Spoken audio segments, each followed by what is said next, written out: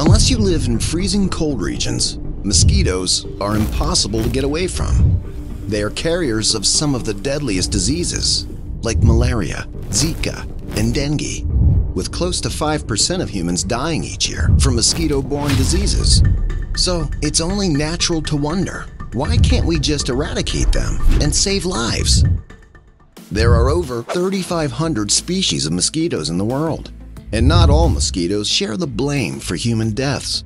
Only the females of 6% of these species, including Aedes aegypti, Aedes albopictus, and Anopheles gambiae, feed on human blood. The rest of the species, both male and female, feed on plant juices and nectar, or the honeydew from ants and aphids. Many of these species are also underappreciated benefactors of Earth's ecosystem. In fact, some types of orchids and plants from sunflower and rose families depend on mosquitoes for pollination, and these mosquitoes are considered generalist pollinators due to their small size. That is not all. All the mosquito populations that die or are excreted after being eaten by other creatures like birds, bats, frogs, and many other insects break down into valuable nutrients necessary for the survival of our planet's plant life. In fact, in Alaska alone, mosquitoes contribute to over 96 million pounds of biomass, which is in no way negligible. Even if we put aside whatever beneficial acts mosquitoes do perform for the ecosystem, is it really ethical to get rid of an entire family of species? There are those that would argue that the benefits for humans far outweigh the benefits to the environment, and that despite the extinction of several species so far, the world still seems to be carrying on all right. But on the other hand, there are also those who argue, saying, Who are we to play God and decide which species should be eradicated and which shouldn't? After all, we have, with or without our knowledge, despite our efforts or through our negligence, already caused many species to go extinct.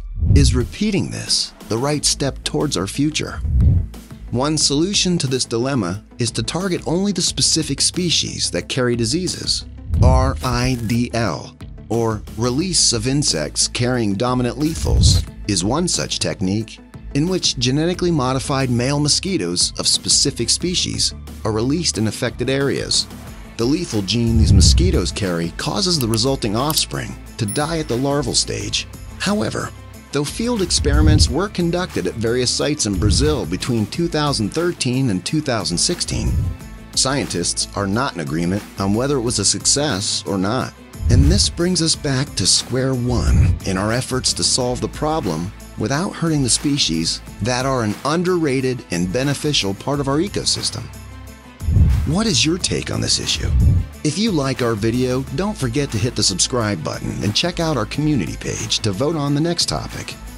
If there's a burning question that you want answered or a new topic you want to suggest, let us know in the comments section below. That's it, folks. Thank you so much for watching this video. We're working hard to bring you the best video content. If you enjoyed this video, give us a like and please subscribe to our YouTube channel.